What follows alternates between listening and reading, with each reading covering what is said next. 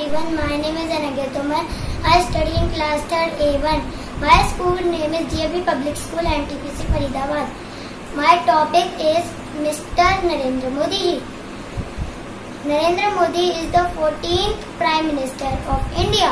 He was born in 17 September 1950. He, his father's name is Mool Modi and his mother's name is Hiraben Modi. He fights against corruption and terrorism.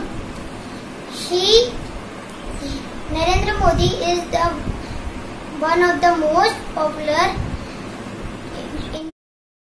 Prime Minister in India after Rajiv Gandhi and Indira Gandhi. I want to be like I want to be like Mr. Narendra Modi. That's all. Thank you. Have a nice day.